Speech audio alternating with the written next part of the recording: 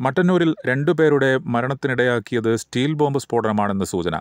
സ്ഥലത്ത് ബോംബ് സ്ക്വാഡും ഫോറൻസിക് സംഘവും നടത്തിയ പരിശോധനയിലാണ് ഇത് സംബന്ധിച്ച വിവരങ്ങൾ ലഭിച്ചത്. ഷഹിദുളിന്റെ കൈപ്പത്തി സ്ഫോടനത്തിൽ ചിതറിപ്പോയിരുന്നു.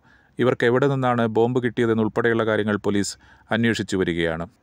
പത്തൊൻപതാം മൈലിൽ ആക്രി സാധനങ്ങൾ ശേഖരിച്ചു വെച്ച വീട്ടിനുള്ളിലായിരുന്നു കഴിഞ്ഞ ദിവസം സ്ഫോടനമുണ്ടായത്. അസം സ്വദേശി ഫസൽ ഹക്ക് മകൻ ഷഹിദുൾ എന്നിവരാണ് മരിച്ചത്. ബുധനാഴ്ച വൈകിട്ട് ആറോടെയായിരുന്നു സംഭവം. പത്തൊൻപതാം മൈൽ കാശിമുക്ക് നെല്ലിയാട് ക്ഷേത്രത്തിന് സമീപത്തെ ഓടുമേഞ്ഞ ഇരുനില വീട്ടിനുള്ളിലാണ് സ്ഫോടനമുണ്ടായത്.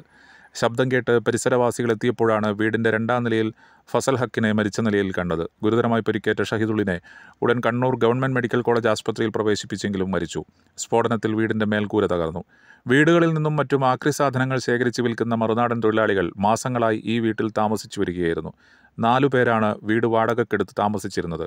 സ്ഫോടനം നടക്കുമ്പോൾ രണ്ടുപേരാണ് ഉണ്ടായിരുന്നത്. മാലിന്യം ശേഖരിക്കുമ്പോൾ ലഭിച്ച സ്ഫോടക വസ്തു വീട്ടിനുള്ളിൽ വെച്ച് തുറന്നു നോക്കുമ്പോൾ പൊട്ടിത്തെറിച്ചതാകാമെന്നാണ് പോലീസിന്റെ നിഗമനം. Kannur city police commissioner R Ilango Koothuparamba C P Pradeepan Kannipoyil ഉൾപ്പെടെയുള്ള ഉന്നത പോലീസ് ഉദ്യോഗസ്ഥർ സംഭവസ്ഥലം പരിശോധിച്ചു. മലയോര ശബ്ദം ന്യൂസ്.